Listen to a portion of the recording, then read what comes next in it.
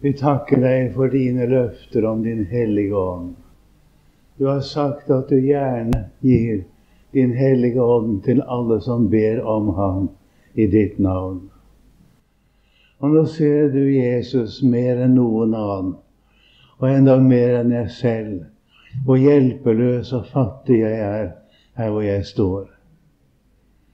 Hvor jeg helt igjennom er avhengig av deg, Herre. Vi ber om å få høre din røst og kjenne den igjen. Og at du vil tale inn i vårt hjertes innerste. Det er bare du, Jesus, som kan gjøre dette. Og så ber vi om det i ditt eget navn, for blodets skyld, Jesus. Amen. Jeg vil fortsette nå først å lese fra Johannes første brev. Vi leste i går til og med det andre verset i kapittel 2. Skal vi da begynne på vers 3 i kapittel 2? Og nå skjønner dere at det er ikke meningen å gjennomgå alle detaljer i disse kapitlene. Men nå skal vi som utgangspunkt iallfall lese utover i kapittel 2. I Jesu navn. Og derav vet vi at vi kjenner Ham, om vi holder Hans bud. Den som sier 'Jeg kjenner ham', og ikke holder hans bud, han er en løgner, og i ham er ikke sannheten. Men den som holder Hans ord, i ham er sannelig kjærligheten til Gud blitt fullkommen. Det betyr blitt så stor som det er mulig for den å være her i verden. Og dette kjenner vi at vi blir i ham. Den som sier at han blir i ham, han er òg skyldig å vandre således som han vandret. I elskede, det er ikke et nytt bud jeg skriver til dere, men et gammelt bud som jeg hadde fra begynnelsen.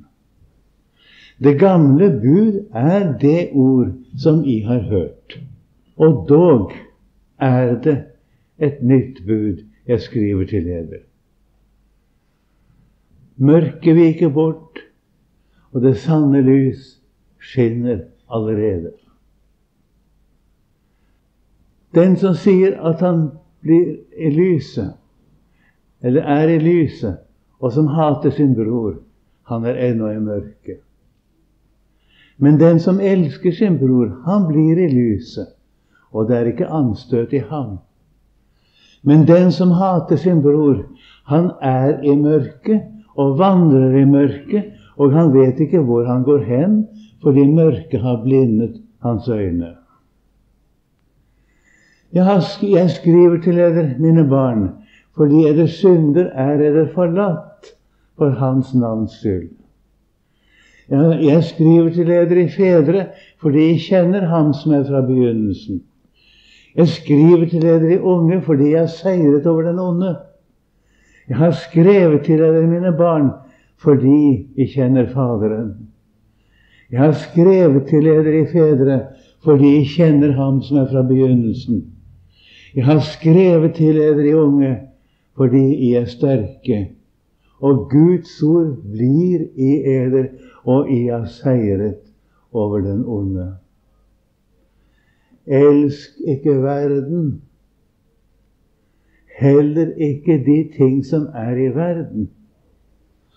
Om noen elsker verden, da er kjærligheten til Faderen ikke i ham. For alt det som er i verden, kjødets lyst og øynenes lyst og storaktighet i levnet, er ikke av Faderen, men av verden. Og verden forgår og dens lyst, men den som er Guds vilje, blir til evig tid. Der skal vi foreløpig stanse da. Så kommer avsnittet om Antikrist og det videre. Om Gud vil, skal vi komme tilbake til det i morgen. Her begynner altså Guds ord med å si Derav vet vi at vi kjenner Ham om vi holder Hans bud. Det er viktig, det. Å kjenne Jesus er det evige liv. Den som ikke kjenner Jesus, har ikke det evige liv. Så det er et grunnleggende ord. Å vite at jeg kjenner Jesus, det er meget nødvendig. For det som blir spørsmålet om på dommens dag, det er om jeg kjenner ham, og han kjenner meg. Det er ikke spørsmål om hva jeg har gjort. Det er ikke spørsmål om nådegaver. Det er ikke spørsmål om virkninger. Som vi senere skal se i et senere møte, blir det nok spørsmål om å bære frukt. Men å bære frukt er noe helt annet enn å ha store nådegaver. Det skal vi også se på litt senere. Jesus sier at på dommens dag skal det komme mange til ham. Mange, står det. Og de skal si til ham, Herre, Herre, har vi ikke talt profetisk ved ditt navn? Har vi ikke utdrevet onde ånder ved ditt navn? Har vi ikke gjort kraftige gjerninger ved ditt navn? Og da skal jeg vitne, sier Jesus, jeg har aldri kjent dere. Vik bort fra meg, I som gjorde urett. Det er Jesus som sier dette. Dette er ikke en såkalt teologisk oppfatning. Dette er ikke en idé av en eller annen predikant. Det er Jesus, vår egen frelser, som vi skal møte på dommens dag, som sier dette. At på dommens dag kommer mange frem som har gjort store gjerninger ved Jesu navn. Det har de ikke tatt av seg selv. Ingen kan ta dette av seg selv. I 1. Korinterbrevs kapittel 13 står det i vers 2, er det vel, om jeg eier profetisk gave og kjenner alle hemmeligheter Det er ikke småting, det. Og all kunnskap. Og om jeg har all tro så jeg kan flytte fjell Det er ikke småting, kjære venner. Og ingen tar dette av seg selv. Det er gitt av Guds ånd. Men om jeg har alt dette, men ikke har kjærlighet, da er jeg intet. Et menneske kan ha store åndsgaver uten å være frelst, forstår du. Det sier Jesus, men det blir ikke fortalt folk i dag. Men det sier Jesus. De har gjort store ting. Folk er naturligvis blitt hjulpet. De har drevet ut onde ånder. De har gjort kraftige gjerninger. De har naturligvis helbredet syke. Og de har talt profetisk. Det benekter ikke Jesus. Og det har skjedd alt sammen ved Jesu navn. Men de folkene som har gjort det, har aldri vært frelst. Og Jesus sier, 'Jeg har aldri kjent dere. Den som kjenner Jesus, er også kjent av ham, og motsatt. Liksom den som er kjent av Jesus, han kjenner Jesus.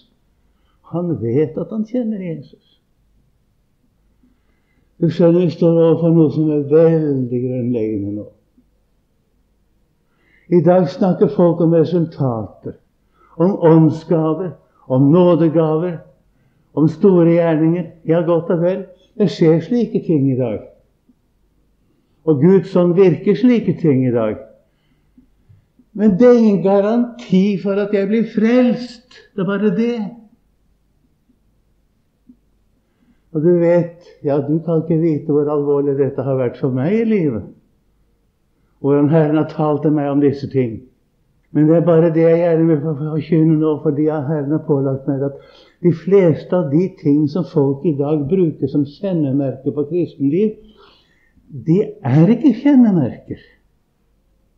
Man kan ha alt det uten å være en kristen. Og nå har jeg lyst til å spørre deg om noe. Vil du være en bekjennende kristen som ikke er frelst?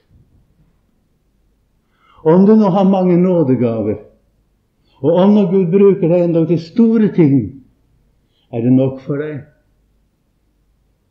Jeg må spørre dere om noe. Hører dere noen gang de tonene der? Nå må vi ikke bli stående med forsoningen og med frelsen og med korset. Vi må komme et skritt videre. Når du hører den tonen, da må du bli redd. Da er djevelen på ferde. Djevelen har ikke så mye imot at Gud bruker oss, bare vi ikke blir frelst. Bare han kan få tak i oss. Dessuten om Gud bruker oss til alle disse ting, så underlig som det er, det skjer store ting, så fremmer ikke Guds rike i noen særlig grad allikevel. Fordi Jesus er egentlig ikke i det. Og Jesus sier der i Matteus 7 om disse som gjør det, vik bort fra meg, i som gjorde urett. Har de gjort uretta når det er blitt brukt av Gud? Ja, sier Jesus. Han har ikke kalt dem til det. Og det de egentlig skulle, det har de ikke fått gjort. Hvorfor det? Fordi de kjente ikke Jesus. De hadde ikke det evige liv. De var ikke født av Gud. Og var, de var ikke blant Jesu får. Det var de altså ikke. De var ikke blant dem som Jesus sier det om, f.eks. Johannes 10. Mine får hører min røst. Den var ikke blant. De hører min røst. De følger meg, og jeg gir dem evig liv. Jeg kjenner dem, og de kjenner meg. Mine får, de kjenner meg, og jeg kjenner dem. Dette hadde de ikke. Kjære venner. Det er ikke lett å tale nå på meg, men jeg må jo spørre deg hvem er det du vil tilhøre? Hva hjelp er det om vi blir ansette, om vi blir regnet med her i verden, om vi blir sett opp til, men ikke hører Jesus til? Derfor kommer dette enkle 1. Johannes brev. Vi talte i går om at sannheten er i Guds ord. Og det er Guds ord som er inni oss. Ellers er ikke sannheten der. Så kommer han og sier Derav, og dette vet vi, at vi kjenner Ham, om vi holder Hans bud. Hvis vi ikke holder Hans bud, så kjenner vi ham ikke. Og hvis noen sier det at 'jo, jeg kjenner ham', men ikke holder Hans bud, så er han en løgner, sier Gud. Jeg må da tro Guds ord. Og hør videre og sannheten er ikke i ham. Og da er det ikke rart vi venter oss. Det hadde ikke vært noen sak hvis sannheten hadde vært i alle dem som bekjenner seg som kristne. Hvis sannheten hadde vært i alle dem som bruker Jesu navn. Det hadde ikke vært noen sak. Men Guds ord sier noe annet. Og nå kommer vi til meget vanskelige ting. Nå er det spørsmålet holder du Hans bud. Og da blir det vanskelig, hva? Ja, nå vet jeg hvordan du tenker, mange av dere tenker. Nå vet jeg verken frem eller tilbake. For alt er galt med meg, sier du. Og når jeg skal se mitt liv i Guds ords lys, så kan ikke jeg påstå at jeg har holdt ett eneste bud. Og det er sant, min kjære venn. Når du ser deg i lovens lys, så har ikke du holdt et eneste bud. Det er bare et eneste menneske som har holdt lovens bud, og han heter Jesus Kristus. Og han gjorde det i vårt sted og på våre vegne. Men det er bare det, skjønner du, at når Johannes taler om å holde hans bud, da taler han ikke om loven, men om noe ganske annet. Du hørte det også her, det som ble lest fra Johannes 14. Den som har mine bud og holder dem, sto det bl.a. der, han er den som elsker meg. Og da tenker ikke Jesus på loven. Og han står i det kapittel 14, det står i det vers 15 som vi hørte der. Dersom De elsker meg, da holder De mine bud. Da taler ikke Jesus om loven. Nei, han gjør ikke det. Bud kan være uttrykk for noe som blir lagt oss på hjertet. Noe som Jesus virkelig byr oss. Dette byr jeg deg', sier han. Jeg ville bruke en liten lignelse en gang fordi den ble så velsignet for meg selv. Det er ikke noen storartet lignelse, for så vidt. Men den situasjonen jeg var i, hjalp det meg. Jeg kom til Kristiansand, det var i 1933, aldeles utkjørt etter å ha vært fire måneder ute og prekt. Først var jeg på skolen, på fjellet, og så ute og prekte. Og så kom jeg ut i juni måned. Jeg var aldeles ferdig. Og hvis noen av dere har prøvd å preke, så tror jeg dere skjønner det så skulle jeg ha en møteuke i Kristiansand. Jeg skulle bo hos vår gamle venn skipsreder Hansen Tangen. Dette her er jo nå 49 år siden. Så det er som jeg sa i går, flere uker siden, det, da. Ja, jo da. Så kommer Hansen Tangen og sier til meg det. Nå skal du høre, sa han. Nå skal du og jeg, vi skal reise ut på Agerøya. Det var noe øst for Kristiansand. Der har jeg et sted, vet du. Der skal du og jeg være, og så skal vi reise ut og ro ut og fiske torsk. Så. Selv om det er juni måned, så har jeg fine torskeplasser. Jeg skjønner det, sånn. så vi skal ut og fiske, vi. Og så skal vi ha det rolig og stille. Nei, det kan jeg ikke, sa jeg. Jeg skal ha møter her. Nei da, det skal du ikke, sa han. Du skal være med meg der ut. Ja, men kjære, jeg er jo kommet her for å ha møter. Ja, jeg har snakket med sekretæren vår, jeg, sa Hansen Tangen var jo formann i foreningen der. Og sekretæren Nils Bjelland, stortingsmann, han var jo god venn av ham. Jeg snakket med sekretæren. Vi har ordnet dette oss imellom, vi som har ikke spurt deg. Og nå skal du bli med meg.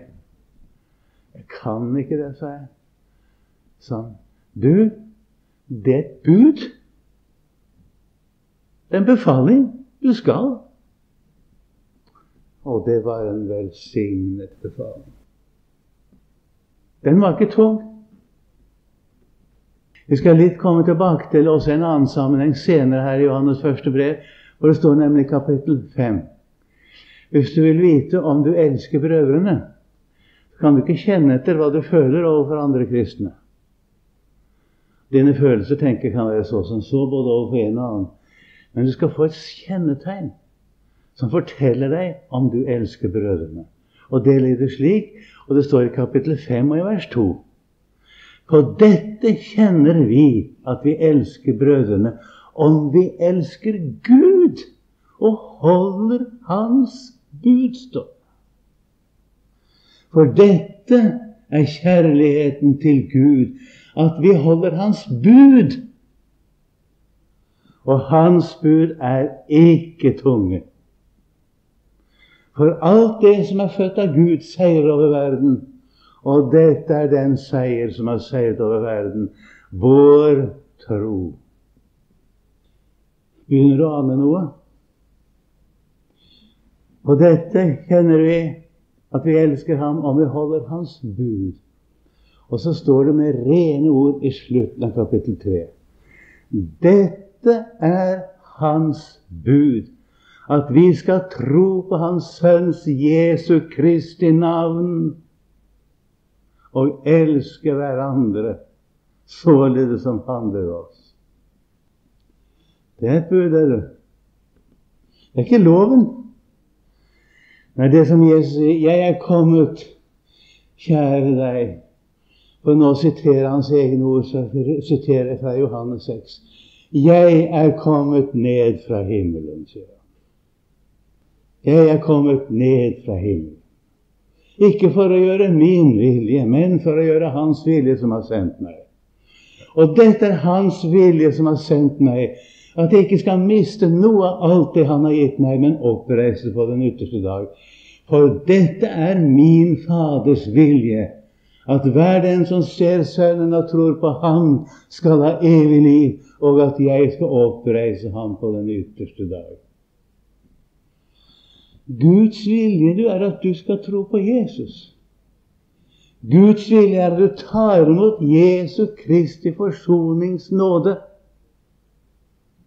Og for igjen å sitere fra Johannes 6.: Den som eter mitt kjød og drikker mitt blod, han har evig liv, og jeg skal oppreise ham på den ytterste dag. Det står i kapittel 6 og vers 54, hvis du har det nøyaktig.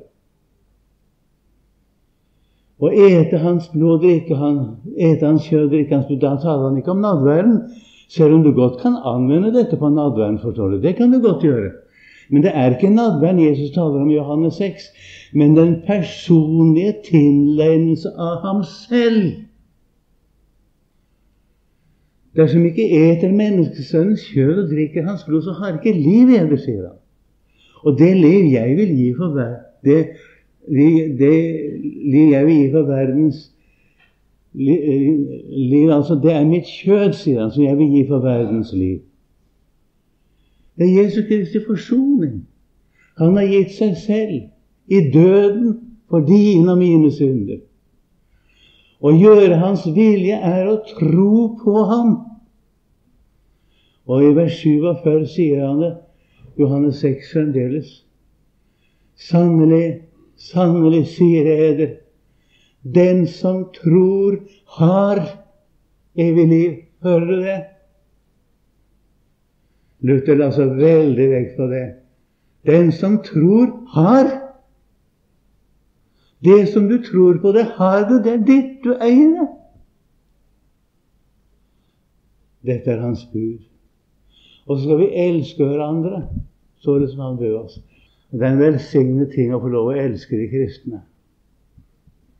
Og det er en velsignet ting å få lov å bruke kjærligheten overfor sine medmennesker. Jeg vil om Gud gir nåde til det, fortelle mer om det på søndag, da, for da ligger teksten an for det. Men bare tenk på en sånn ting. Om et menneske gjør deg urett, eller en kristen gjør deg urett, har du oppdaget hvilken velsignelse det er å be for en kristen og si Kjære Jesus, ikke tilregn ham den uretten. Ikke tilregn ham den. Tilregn ham deg selv. Og det er dette å bruke kjærligheten, forstår du, det er en sånn en gave fra Gud. Dette er Hans bud. Det er ikke krav, det er gave. Det budet går ut på, er at vi skal ta i bruk og gjøre nytte av Guds gave, Guds usigelige gave, som heter Jesus Kristus, han personlig. Man snakker meget mer om hva Gud skal gi oss i dag, enn den gaven Han har gitt oss. Gaven er jo Jesus. Og vi blir ikke ferdige med dette, kjære venner. Hva synger de frelste salige om i himmelen? Det viktigste av alt er det de frelste salige i himmelen synger om, for de har nådd målet. Og der står midt imellom dem et lam like som slaktet, står det. Og så synger de 'Ære være Gud', som kjøpt, ære være lammet, ære være lammet, som kjøpte oss til Gud med sitt blod. Det er den nye sangen, sier Bibelen. I salmen før ble sitert her i går, var det vel? Han, nei, var ikke her. Det var et annet sted. hørte det. Han la i min munn en ny sang. Han la i min munn en ny sang. Og denne nye sangen den er veldig viktig i Guds ord. For uten den nye sangen kom vi ikke inn i himmelen. Og den nye sangen er sangen om landet. Og hvis ikke den er det viktigste for oss her, så er den heller ikke siden. Hundre dages for deg, derav vet vi at vi kjenner Ham, og vi holder Hans bud. Hvem det nå er her, jeg kjenner dere, mange av dere, mer eller mindre, kanskje. Det er nå det samme, det. Spørsmålet er jo om Jesus kjenner oss. Men hvem dere nå er, kjære venner, er det Jesus du stoler på? Er det Jesus som er livet ditt? Eller er det hans gaver? To forskjellige ting, det. Herren har gitt meg gaver, jeg skal ikke nekte for det. Men hva betyr det? Det er Jesus selv som er mitt liv. Det er hans soning for mine synder som har frelst meg. Og derav vet jeg at jeg kjenner ham. For dette, dette har jeg tatt imot. Det har forandret hele min tilværelse. Da jeg var ung, var jeg meget religiøs, og jeg var meget ivrig. Og du verden. Og jeg var sånn som drev på med alt mulig da, vet du, slags virksomheter. Jeg var sekretær i en kristelig ungdomsforening tilsluttet Norges kristelige ungdomsforbund. Og det manglet ikke på aktivitet, nei. Herren frelste meg fra alt sammen. Og Herren frelste meg fra min religiøsitet. Heldigvis. Jeg ble litt paff her om dagen. Det vet Åge Samuelsen kan jo si litt av hvert om han. Jeg er ikke noen tilhenger av ham, altså. Det er jeg på ikke noen måte. Men han ble spurt i fjernsynet under et eller annet av disse her programmene. Plakaten heter det visst. Så sier intervjueren de som er så dypt religiøse, hvordan kan de være med på så mange ting? Så svarte han jeg? Religiøs? Å nei! Å nei da, jeg, ikke, jeg har aldri vært religiøs. Men jeg er frelst, sånn. Ja, ja, det var interessant, det svaret. Jeg vil ikke si mer om han, jeg. Verken for eller imot. Jeg kjenner ham ikke. Herren vet om han kjenner ham. Men religiøsitet gagner ingenting. All vår søken og streben og beden og jammer og og for ikke å snakke om alle våre programmer og oppgaver, hva vi skal utrette og planer, betyr ingenting, venner. Men det betyr noe at jeg er frelst, at jeg har evig liv. Og så begynner dette liv å ta meg i bruk, da, vet du. Og så bruker Jesus oss. Og han kommer til å bruke deg mye mer enn du aner. Derav vet vi at vi kjenner ham, og vi holder hans bud. Og så står det et ord Der er skjende, da. William. Må være det. Eh, den som, den som holder Hans ord, står det. Der har du det samme igjen. Den som holder Hans ord. Det står i Johannes 14, som vi hørte her til å begynne med. Dersom de elsker meg, da holder de mine ord. Du vet hvordan det er med ord. Vi har jo noe som heter kjærlighetsbrev. Og noen av dere er i den alder at de brev spiller nokså stor rolle, tenker jeg. Dere unge. Hva betyr et kjærlighetsbrev? Du er glad for det brevet på grunn av at du elsker den personen som har skrevet, ikke sant? De ordene får en særskilt betydning av ditt forhold til den personen som skriver dem. Sånn er det her. Dersom jeg elsker meg, og holder mine ord. Ja visst gjør vi det. Vi tar ordene til hjertet. Hans ord blir det viktigste for oss. Og så står det at dersom den som holder Hans ord I ham er sannelig kjærligheten til Gud blitt fullkommen, står det. Som jeg sa, da er kjærligheten til Gud blitt så stor som det er mulig for den å bli her i verden. når jeg står frelst hjemme i himmelen, så blir det nok enda meget større. Men det er en annen sak. Da skal vi bli lik ham, se ham som han er. Skjønner du dette? Dette er det Herren legger oss på hjertet nå. Og jeg forstår at dere tar imot dette budskapet her i kveld. Det kjenner jeg på dere. Kjenner det på ånden i forsamlingen nå. Det takker jeg Gud for. Så sier apostelen da at akkurat det som vi nå opplever, forresten, at på dette kjenner vi at vi blir i ham. Vi blir nettopp i ham. Og så får vi en formaning at den som da blir i ham, han er da skyldig av andre således som han, således som Jesus vandret. Ikke se oss hit og dit. Ikke tenk i øst og vest. Hva skal vi nå gjøre? Se på Jesus. Følg nå Jesus, du. Ta ham til eksempel. Hvordan svarte Jesus sine motstandere? Hvordan var han mot sine fiender? Hva er det han la vekt på her i verden? Vi er skyldige å vandre således som han vandret. Og det fører han med seg først og sist at det kommer et ganske annet forhold til dem som tror på ham, enn til alle andre mennesker. Jeg kan ikke hate en kristen. Det er aldeles umulig. Jeg kan ikke hate noe annet menneske heller, for den saks skyld. Er det umulig for meg, det? Jeg kan ikke hate noe menneske.